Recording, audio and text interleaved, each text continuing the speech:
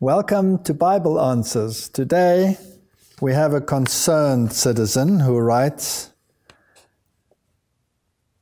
How is it that you can think you are following God when you pray and when you read the Bible, but in the end you find out that you were not following God, but in fact were unknowingly worshipping Satan? So, how do you deal with something like that?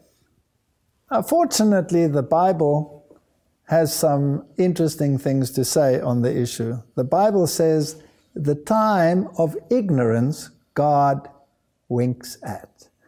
So if you follow your scriptures and you live according to the Bible dictates, and then at some later stage you find out that you were actually not following what the Bible says. For example, the Bible says, that the seventh day is the Sabbath of the Lord your God, and on it you should do no work, but you should worship on that day and keep that day as a rest day, because on that day He created you.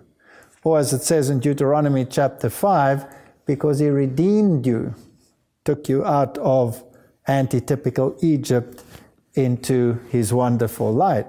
Now, if you suddenly discover that you have been doing something which is contrary to the Bible. This is where this text comes in, where the Bible says, The time of ignorance God winks at.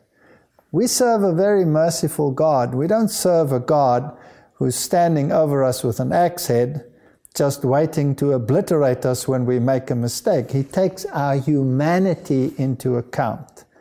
And that is why the Son of God became man so that he could identify with our humanity and our weaknesses. And also, there's no such thing as beanbag Christianity, where you have this little icebreaker with children where a beanbag is thrown from one to the other, and the first one says, My name is so and so. The next one catches the beanbag and says, My name is so and so, and so the bag goes round, and people get to know each other. Now, many have this concept of Christianity. They believe that when they have repented of their sins, they're now walking with Jesus and He holds us, this beanbag, safely in His hands. But when we fall and we make a mistake, then He throws the beanbag to the devil, and now I belong to the devil until such time as I repent. And so the beanbag goes backwards and forwards between the two. There's no such thing in Christianity.